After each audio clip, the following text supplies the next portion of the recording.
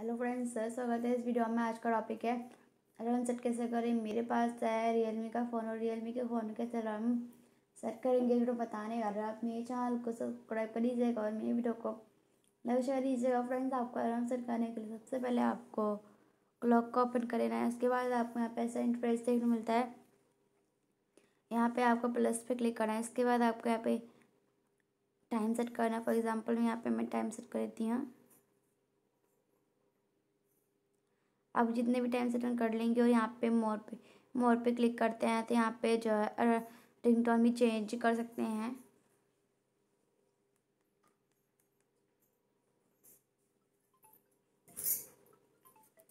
तो इनमें से जो भी आपका रिंगटोन चाहे वो सेलेक्ट करके आप चेंज करेंगे बट मैं इनमें से ये सिलेक्ट कर दिया और आपको यहाँ पर सेव पे क्लिक कर देना है तो आपका जो अलार्म सेट हो जाएगा, ऐसे अपने फ़ोन में अलार्म सेट कर लेंगे।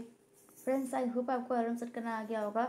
तो प्लीज़ आप मेरे चैनल को सब्सक्राइब कर लीजिएगा और मेरे वीडियो को शेयर कीजिएगा फ्रेंड्स मिलते हैं नेक्स्ट वीडियो में, तब तक ले नमस्कार.